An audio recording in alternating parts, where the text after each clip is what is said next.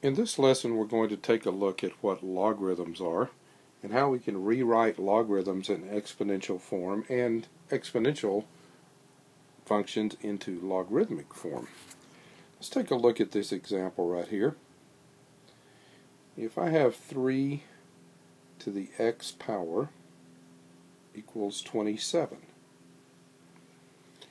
I want to know what the value of x is. Now by looking at this I can tell uh, I know that 3 to the third power is 27, uh, but that's what logs are here for. We can actually rewrite this into logarithmic form by saying log base 3 of 27 equals x. So when we find the log base 3 of 27, what we're really finding is the number that will be the power when we raise 3 to that power will give us 27. So we know that in this case x is equal to 3 because 3 times 3 times 3 is equal to 27.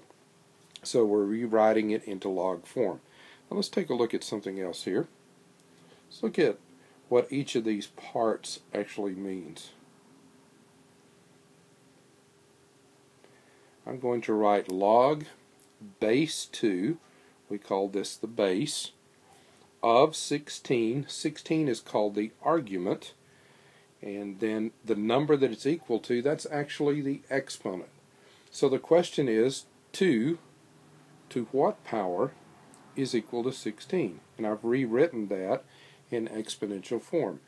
2 to the, well, 2 times 2 is 4, times 2 is 8, times 2 is 16, so 2 to the fourth power is equal to 16.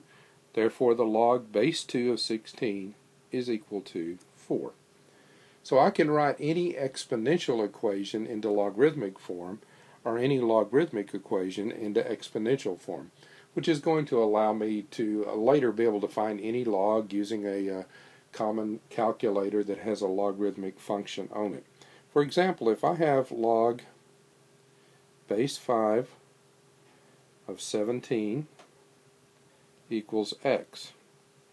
Then I can rewrite that by doing my base, that's my number being raised to a power in an exponential equation, of 5 raised to the x power, remember x is the exponent, is equal to 17.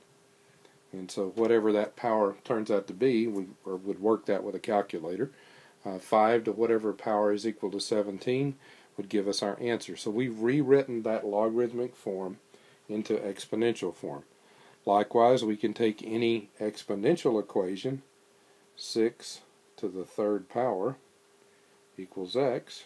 I could rewrite that as a logarithmic equation by saying log, remember the base is 6, log base 6 of x, that's our argument, is equal to 3. So I can write or change between logarithmic and exponential form quite easily. Being able to do that will give me ways of solving exponential equations. Just be sure you understand the various terms that go with it. One thing we need to look at is that sometimes we write logarithmic form like this, log, and we write a 3 equals x. And it may appear that we've just forgotten to write our base there. But this is actually called a common log. When you have a common log, the base is assumed to be something, uh, even though you don't see it there. Uh, the base is assumed to be, in this case, base 10.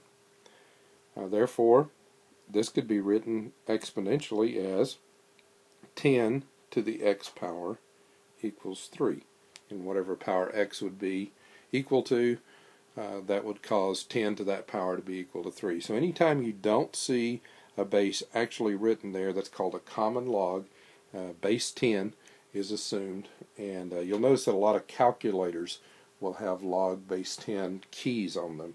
And uh, we'll learn in later lessons uh, how we can take advantage of that actually to work different bases using a change of base law that we'll look at later.